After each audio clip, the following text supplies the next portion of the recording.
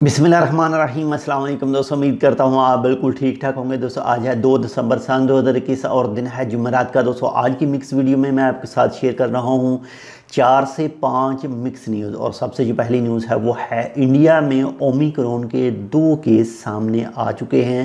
آج ہی اس کے حوالے سے انڈیا نے بتایا اور یہ دو، دونوں ہی مرد ہیں۔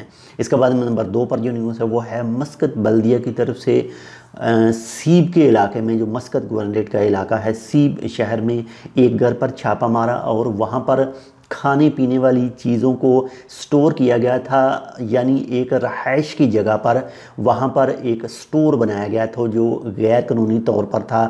اس کا کوئی بھی لائسنس نہیں تھا تو اس کو پکڑا گیا اور ان کے خلاف جو قانونی کاروائی کی گئی، جن لوگوں نے یہ سٹور بنایا ہوا تھا۔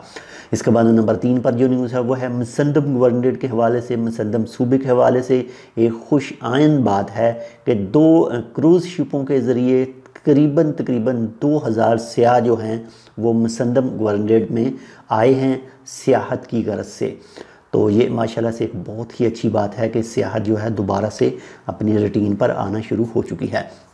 اس کے بعد میں نمبر چار پر جو نیوز ہے وہ ہے، عمان کسٹم نے الوجہ پورٹ پر تمباکو کے ریلیٹڈ کچھ چیزیں ایسی تھیں جو ٹرک کے کیبن میں بہت ہی ٹائٹ اس کو کور کر کے چھپائی ہوئی تھیں۔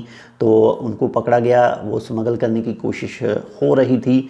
تو پکڑی گئی وہ چیزیں اور برآمد کی گئی اور ان کے خلاف جو قانونی کارروائی ہے وہ کی گئی۔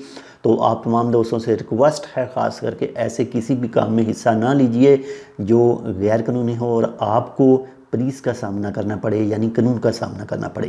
احتیاط کیجیے۔ اس کے بعد نمبر پانچ بار جو نیوز ہے، وہ ہے انوائرمنٹ اتھارٹی کی طرف سے نورتھ ہل باتنا کی ولایت سویک میں پودے لگائے گئے اور یہ ایک حصہ ہے جو عمان کے اندر دس ملین پودے لگانے کا پروگرام ہے۔